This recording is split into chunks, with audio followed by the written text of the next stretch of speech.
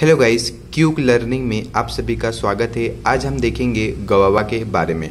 तो चलिए गए अब सबसे पहले हम देखते हैं कि जो बेहद कोकोनट एक वैरायटी है। देखो सभी लोग, एक वैरायटी जो जिसका नाम क्या है? बेहद कोकोनट है ना?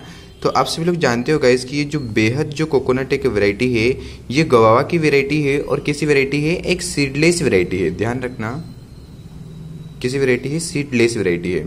सेकंड नंबर पे गोवाओं में जो प्रोपागेशन जो मेथड किया जाएगा, वो कौन से किया जाता है? स्टूलिंग किया जाएगा। ध्यान रखना प्रोपागेशन मेथड क्या होगा? स्टूलिंग और क्या होता है गाइस इसमें जो होता है फ्रूट नेक्रोसिस भी होता है। लेकिन फ्रूट नेक्रोसिस जो होता है मेन जो माना जाता है कि फ्रूट नेक्रोसिस मेन किस कारण होता है? बोरान की कमी के कारण होगा और किसमें देखा जाता है? आंवला में देखा जाता है। ठीक है?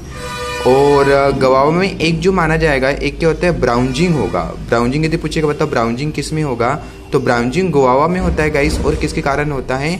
जिंक की कमी के कारण होता है। ध्यान रखना कि जिंक की कमी के कारण गोवाओं में क्या होता है? ब्राउनजिंग होगा। लेकिन इसको ध्यान रखना कि जो फ्रूट नेक्रोसिस यदि बोलेगा कि फ्रूट नेक्रोसिस किसमें होगा तो मेन रीजन होता है अवला में होगा। लेकिन पूछा जाएगा कि किसके कारण होता है तो किसके कारण होता है? बोरान की कमी के कारण होता है। तो आज के हमारे पाँच की पॉइंट गाइस क्या होते हैं? कंप्लीट होते हैं। अच्छे से नोट कर लीजिए। Thank you so much